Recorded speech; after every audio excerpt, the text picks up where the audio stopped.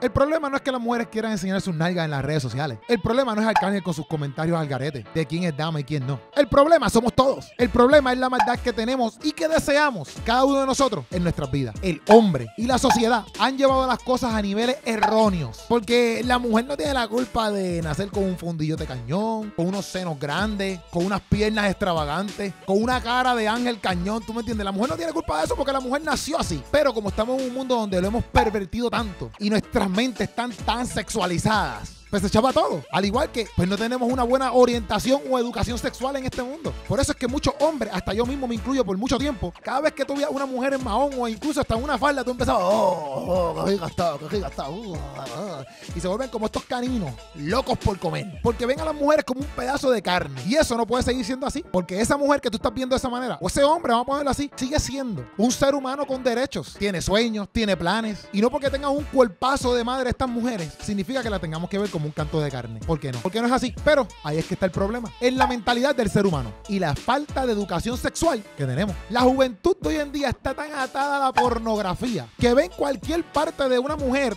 o de un hombre, vamos a ponerle, y se vuelven locos, como repetimos hace varios, varios minutos atrás, que lo ven como carne para comer. Y todas estas personas que patrocinan esto no ven nada de eso, solamente ven el momento, solamente ven que les está dejando XY capital, pero no ven el ejemplo que están dando hacia las futuras generaciones o no ven los daños que están ocasionando en las futuras generaciones, porque solamente piensan en los ahora, piensan solamente en llenar sus vacíos de identidad o, o de orgullo. Pero como dice la canción de Redimido, Funky y Alex Zurdo, Les doy lo que conviene, quieren lo contrario, lo que entretiene, no lo necesario. De eso que mata pero vende, de eso que mata pero vende, de eso que mata pero vende. eso los mata, pero vende. Y como vende, no importa que nos mate. Como dice Redimido inclusive en una de sus letras, el cigarrillo no daña a quien lo fabrica, da cáncer al que lo consume. Por eso para mí está tan mal esto de las fotos de esa manera o los OnlyFans que se van bien a fuego y etcétera por ahí para abajo. Porque a estas personas que hacen esto ya las dejan de ver como una persona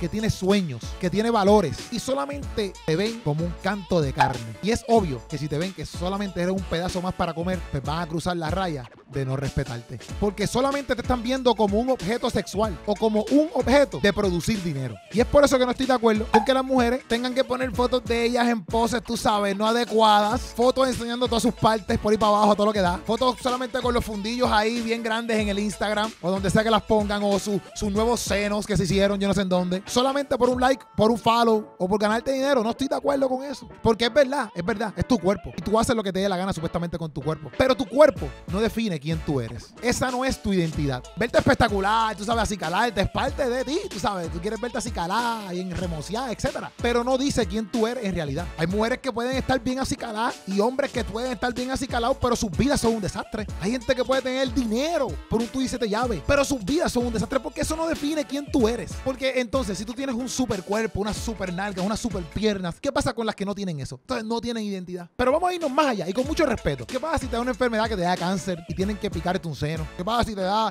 un accidente que tengan que picarte las nalgas? ¿O qué pasa cuando llegues a vieja? ¿Qué pasa? Ya no eres una persona con identidad. Eso no es así. Porque tú eres más que un cuerpo. Tú vales mucho más que todas las cosas que tú puedas exponer acerca de tu cuerpo. Tú vales más que un like. Tú vales más que todos los millones que te puedas ganar en esta tierra. Por eso no importa si eres contable, ingeniera, enfermera, prostituta. Se te respeta porque tienes una identidad y eres un ser humano. Pero no dejes que un like, unos follows, el dinero o lo que esté trending te manipule. Y no dejes que las personas te vean como un pedazo de carne. Porque da pena que todas estas modelos que enseñan sus fundillos bien a fuego, inclusive y otras que se van más a fuego, hombres o mujeres, está cañón que los hombres no las vean como mujeres con sueños, con metas, con visión y que solamente las vean como pedazos de carne. Y eso tú no eres. Tú vales mucho más que un like o que un follow o que el dinero. Espero que hayas podido entender este video. Lo hago porque te amo. No lo hago por tiradera a nadie. Al contrario, lo que quiero es que puedas entender cuán valiosa tú eres. Que pase lo que pase, es verdad. Tenemos que respetarnos. Y el respeto comienza desde todas nuestras acciones. Hombres, velen sus acciones y mujeres, velen sus acciones. Para que ambos lados nos podamos respetar. Esa es la que hay. Boom chacalaca. That's right.